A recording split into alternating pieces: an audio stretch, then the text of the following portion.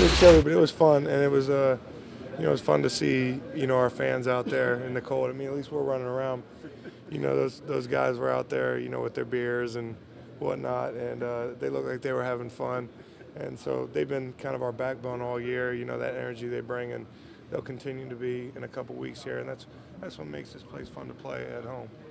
How important is it for some of these guys who haven't gotten a lot of snaps, like Sidney, like Cameron, to get them in a game like this in case you need them in the in the playoffs? Listen, it's important. I mean, uh, you got to have everybody at their best uh, in the next in the next two weeks, and you know Dallas, you know they played their studs all the way through the fourth, and you know so that was good for those guys to be in there, and I think a lot of guys held their own. Um, you know, at the end of the day, uh, you know some of those guys you mentioned on defense did a really good job. You feel pretty good about this defense going into the playoffs. Yeah, I mean, all, all year I think you know we've had our rough spots, but for the most part we've been uh, who we are, and uh, it's physical, um, play with passion, emotion, and uh, and try to stop the run first. I mean, you know, they, they ended up over 100 yards today. Uh, I don't know how many Zeke ended up with.